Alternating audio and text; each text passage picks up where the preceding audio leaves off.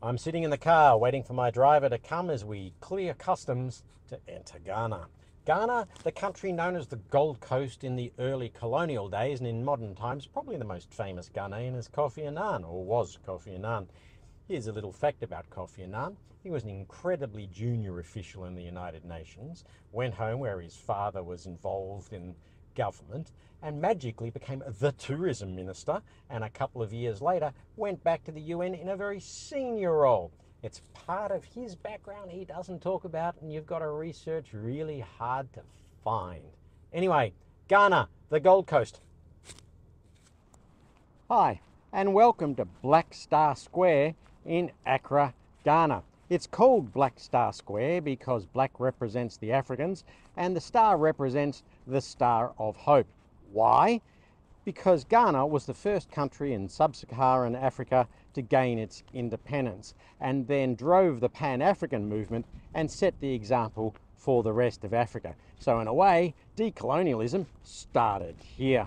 So, this statue at the edge of Black Star Square represents the unknown soldier or the lone soldier, but not the normal unknown soldiers you see in France, Australia, and in other places commemorating those who died in war.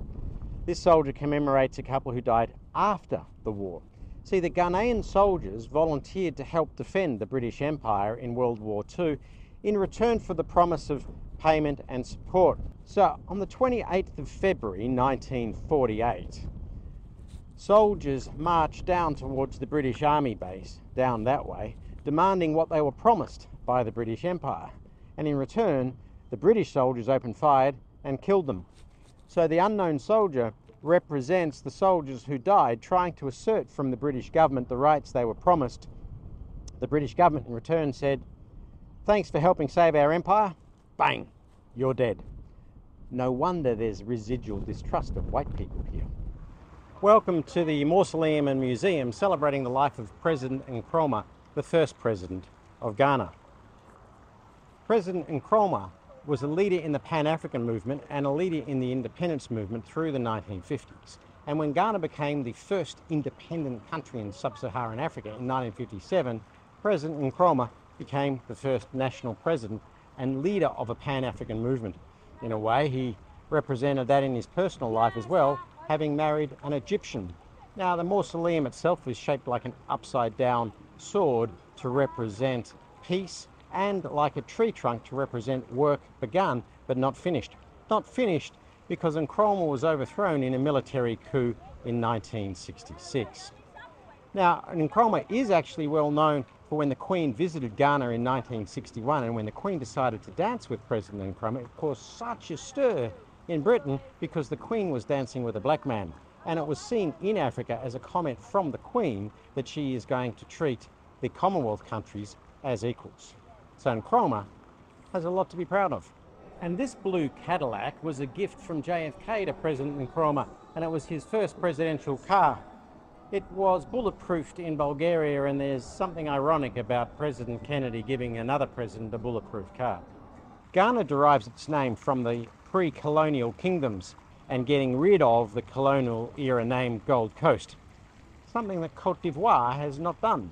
Now, Ghana was known as the Gold Coast because the principal trade from Ghana in colonial days was gold.